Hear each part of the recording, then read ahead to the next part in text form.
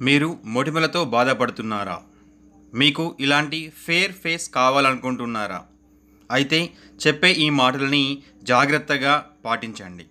మొదటిది నిమ్మరసం తేనె కలిపి మొటిమల మీద రాసి పది నిమిషాల తర్వాత గోరువెచ్చని నీటితో కడిగితే చాలా అడ్వాంటేజెస్ ఉంటాయి.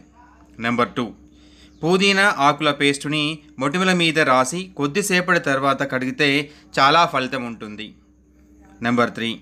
తులసి ఆకులను ముద్దగా చేసి వాటిని మొటిమలపై రాసి పది నిమిషాలు తర్వాత కడిగితే మొటిమలతో పాటు మచ్చలు కూడా తగ్గుతాయి. ఇలాంటి మరిన్ని వీడియోస్ కోసం సబ్స్క్రైబ్ చేయండి. అలాగే ఈ వీడియో నచ్చినట్లయితే లైక్ చేయండి షేర్ చేయండి. మీ అభిప్రాయాన్ని కామెంట్ బాక్స్లో కామెంట్ ద్వారా తెలియజేయగలరు.